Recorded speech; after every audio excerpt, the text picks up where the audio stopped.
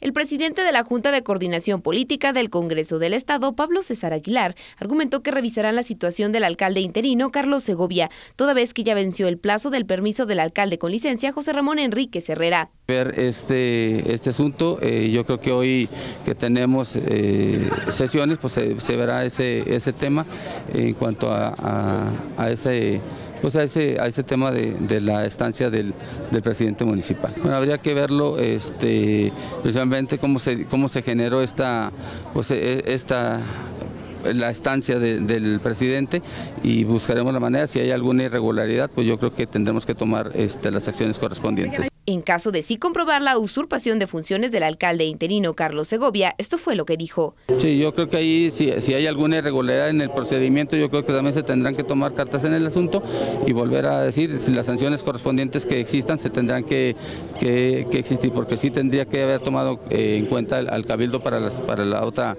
para el, para el otro permiso. Entonces, en teoría, ¿debió o no ya haber regresado? Bueno, se supone que ya debería de haber regresado con, esta, con este permiso que, que se tuvo. Manifestó que hay un segundo permiso por parte del alcalde con licencia, sin embargo será revisado ante presuntas irregularidades en el procedimiento. Si el plazo tendría que regresar, habría que, ver eh, la situación de la, del segundo caso, en el caso de la, de la pues del segundo permiso que, en este caso hubiera, hubiera pedido, vamos a, revisarlo. Bueno, habría que ver si lo pidió o no lo pidió, habría que ver que el cabildo qué, qué acciones tomó en este aspecto y nosotros pedir la información correspondiente.